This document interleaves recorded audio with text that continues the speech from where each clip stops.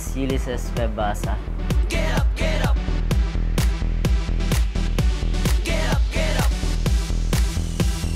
My name is Owel Jim Luis C. Posadas.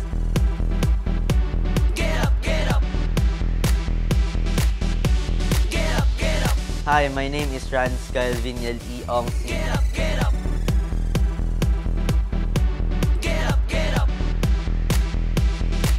Ako nga po pala si Bibor Chua Kabigon.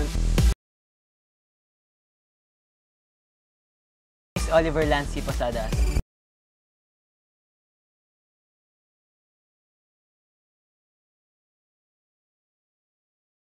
Ako po si Clarence Adrian J. Villaferte.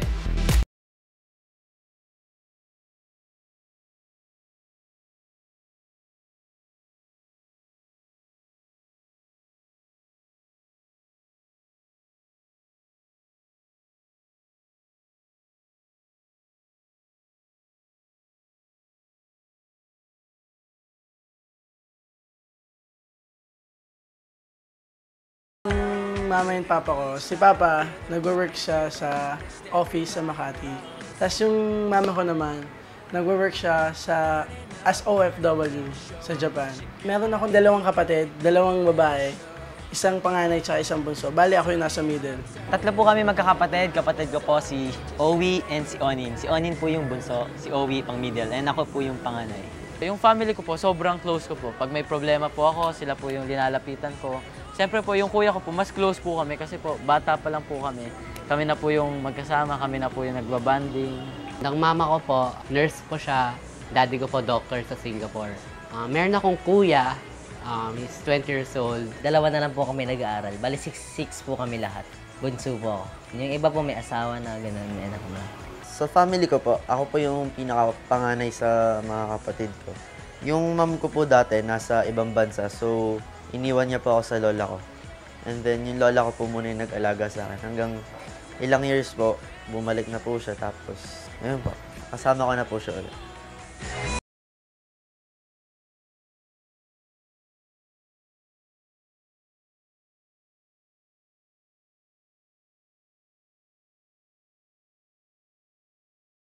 Sixerifics, panoorin nyo kung paano mag-battle. Long Hair Brothers versus Posadas Brothers. Ang, Lego gagawa, ang gagawa ng music is Me. B-Boy. with Judy. Lego. Let's go. Tara. Ang, ang Posadas Brothers, Para sa kay Owen Oliver Magingay. Yeah! give it up! Kay Raz at kay Cab Magingay. Brother! Masasabi mo? Laban lang kung laban. Huwag aayaw. Brother, ano masabi mo? Ha? Brad. Ready? B-Boy! Ready! Turn on the music.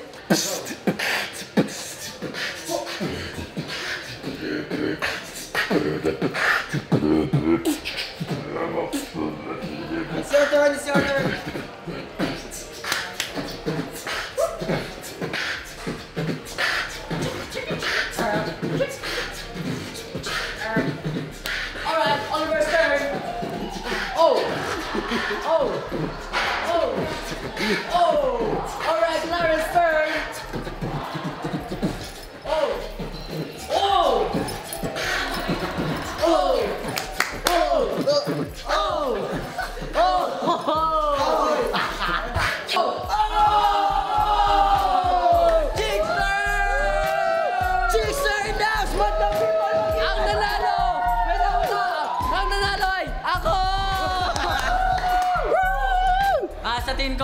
Patas yung laban kaya walang panalo. Eh, sa tingin ko kami nanalo kasi kami pogi sila maganda. Alam na, alam na. Magaling sila pero hindi sila mananalo Kaya nga sa tingin, sinasabi ko hindi manalo. desisyon. Ko, manalo matalo, cute pa din ako. Para sa akin, sa laban, walang ano, awayan. Katuwaan lang. Kasi pogi kami apat. apat lang kaming pogi. Okay, okay, wait. Sila apat, pogi. Ako naman cute. Ewan ko lang yung isa. Well, hindi ko na aminin. Okay na, okay na. Basta mga Brad, hindi na kailangan ng mga pa-cute-cute. Andito ako. Ba't mahilig ka mag-lip bite? Siyempre, gusto niyo sample? Oh!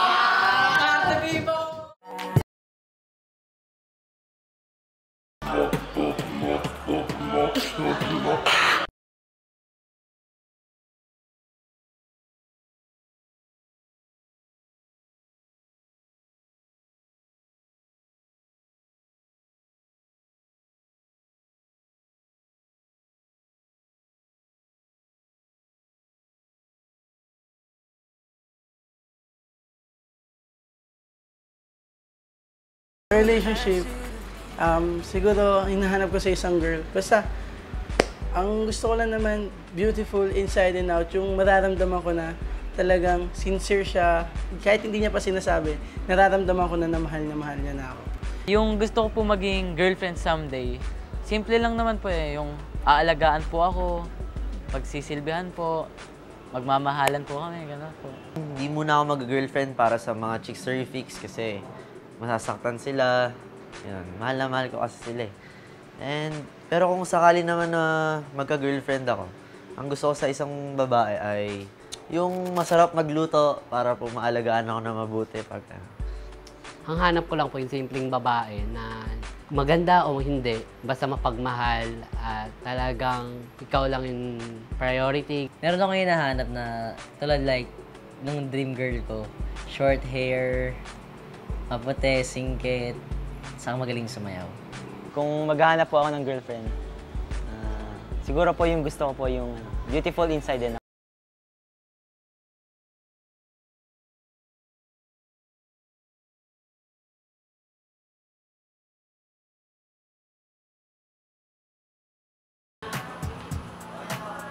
Hello, Chick Cervix! Um, I'm here, B-Boy. Um, ngayon, tuturuan ko kayo kung paano mag-beatbox ala B-Boy. Tip number one, ito, natutunan ko lang din to sa YouTube.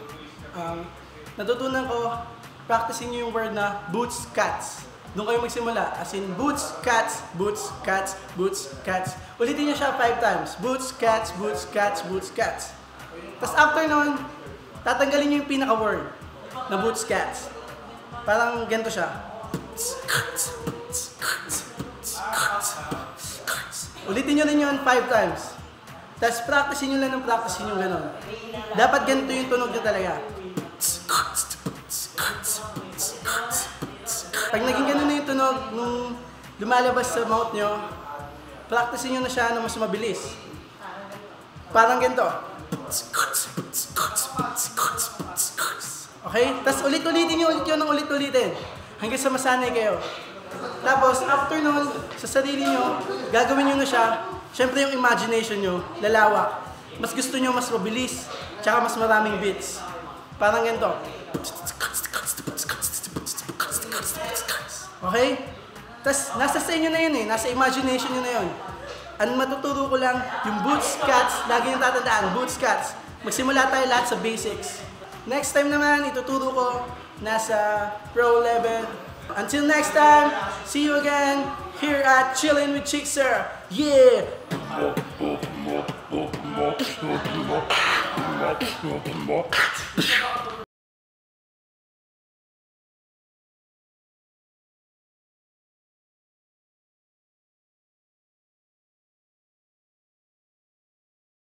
Vain po talaga ako kasi po ano, mahilig po ako mag-picture mag-isa. Siguro papakita ko sa camera, tinitignan niyo yung buhok ko, ganun. Hindi ako nagsasawa, hindi ko alam bakit. Kasi nakakapwa, chik, chik. Ganyan. Yun naman, pagka-vain ko na yun, malaki na natulong sa akin kasi ano, upload ako na upload na picture, yan, napapasaya ko sila. Doon lang sa picture. Pinipili ko po yung pangit, delete. Masyado po ako matagal mag-ayos ng buhok kasi po hindi ko po malaman kung anong gagawin kong style. Most of the time, ako po yung nagsasuggest sa chickster ko ano po yung susuotin namin pag may mall show kami, gigs, gano'n. Sasabihin ko lang po sa kanila yung color para po mag-blend. Yung style ko po ay medyo formal, simple, yun. coat and tie. Siguro yung secret ko lang para ano, maging cute forever.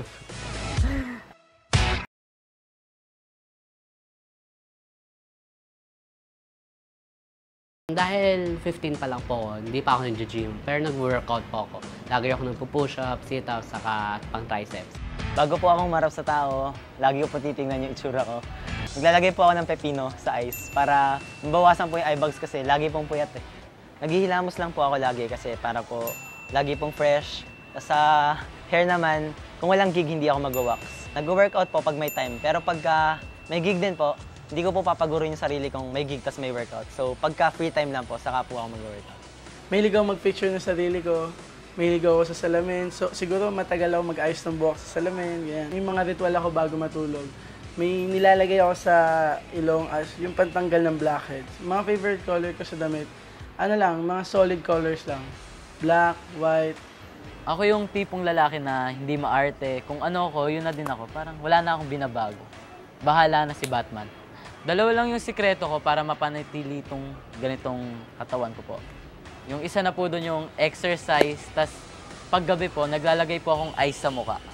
Pangpaganda po ng skin. Hindi naman ako maarte sa katawan, pero may, siyempre, meron pa din akong ginagawa pang papogi para kiligin yung mga girls. Magki-killer smell po. Yeah. Tapos, wink then deep bite.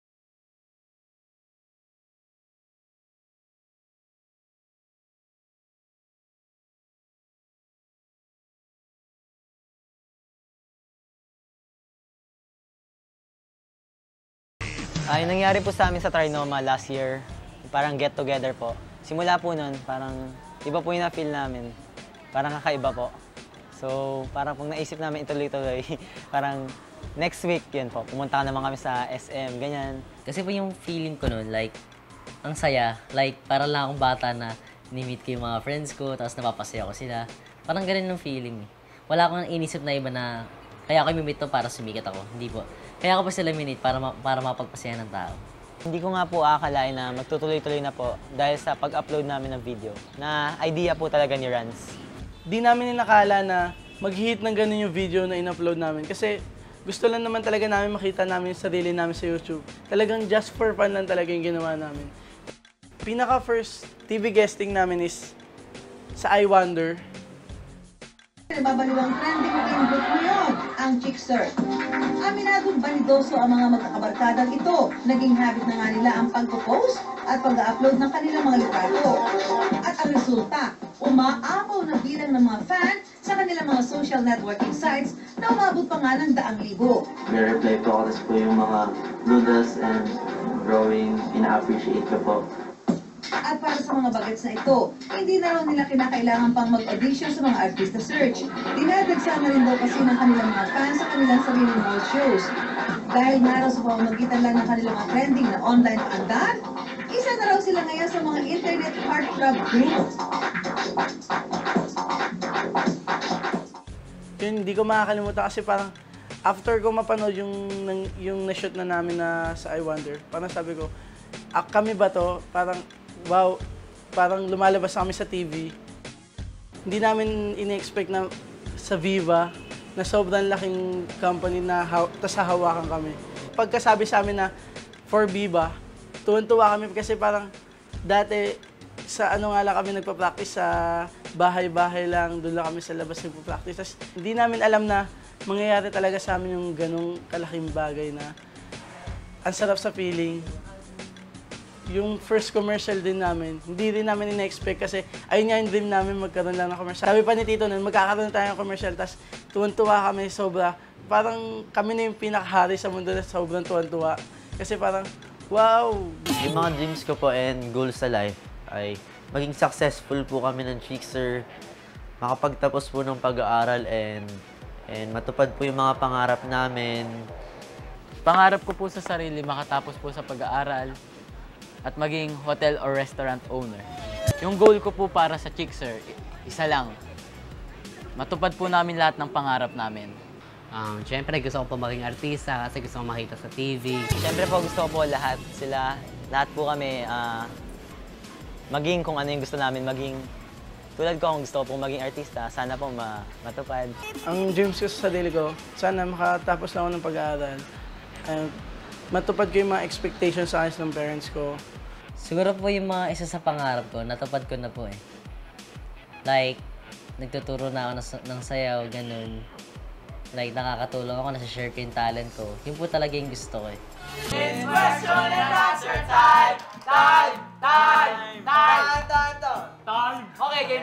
Question number one. Hello, Chickster. This is Hazel from Quezon City. I Hello. am your number one fan. Yeah, man! Kasi every time na nakikita ko kayo, sobrang kinikilig ako. Kaso I need to focus din sa studies. Meron ba kayo That's good, that's good, that's good. Para Keep it up. sa akin, para tumaas ang grades ko this school year. Naman. Graduating student po kasi ako ni Wow. Rans. I hope you can help me. Thanks, I love you, Chickster. I love you, Chickster. Isa lang yan.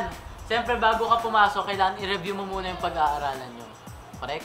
Yeah, yeah, that's right, man. Ah, kailangan mag-pray. Klase, bawal ang gadgets. Just study. Basta, mag-aaral ka lang mabuti and gawin mo lahat. Give your best para maging proud sa'yo yung parents mo. Yun lang. Sa akin, um, gawin muna yung homework bago mag-Twitter, Facebook, or kung ano. Yeah, that's right. That's right, Transy Boy. Woo! Thank you sa question mo. At kung hindi alam, Question number, two. Hi, Chickser. Good day. Mag-share naman po kayo sa mga Chickser yung fix ng inyong favorite motto in life. Thanks. Maru from Laguna. Motto? Yeah. Lawrence, you first. Motto? Yeah. Never give up. That's the motto in life. Whatever happens, don't forget to smile. Motto, love all, trust few, hurt no one. real men need God. Nothing is impossible. For me, time is gold. Question number three. Hello, Chickser. Ako si CJ from Tarlac. Hi! At ito ang tanong ko. Bukod sa pagsasayaw at pagkanta, meron pa ba kayong hidden talent na, na di pa alam ng Chickser Vix? Magaling ako mag-chess. Ah! iPad! Ano O, pakita yung print screen. Papakita ko yung green screen. Okay, Green screen. kaya, Oo, kaya, kaya ko lagi talo. Ano? Oh, si Oliver. Oliver, what's your hidden talent, bro? Hindi niyo po akalain to, hindi rin nila alam. Walang may alam, ako pa lang. Ano na? marunong po akong mag-piano. Lahat, lahat, lahat na nandito hindi kaya to. Ito. Oh. Pang-alien yun eh. Alien nga, ano? Magic. Ikaw. Kaya ko Tama na rin. Kaya ko rin.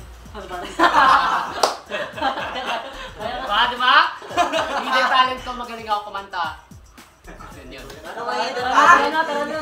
Kalokohan ko, tara na, tara na. Nga eh. Yung talent ko, um, mixing and scratching. Yeah. Wow! Nagme-mix sa sa kayong piko. Oh, question number 4. Wait, meron pa. Ano question ba? number 4. Wala na nga. Malamayan niyo ba yung 6 already? Oo oh, naman! Ano? Ano? Oo oh, oh, naman! Forwards, can you explain?